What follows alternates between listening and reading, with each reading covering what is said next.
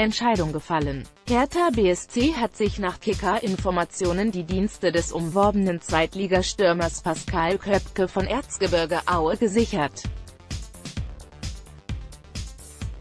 Der Wechsel könnte den Hauptstadtklub demnach mehr als 2 Millionen Euro kosten, je nachdem, wie hoch die Beteiligung von früheren Vereinen des 22-Jährigen ausfällt.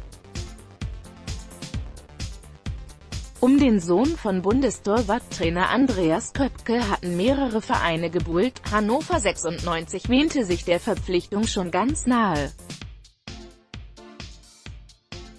Entsprechend enttäuscht reagierten die Niedersachsen, er hatte uns fest zugesagt und auch schon mehrmals mit Trainer Andre Breitenreiter gesprochen, sagte 96-Manager Horst Held dem Kicker.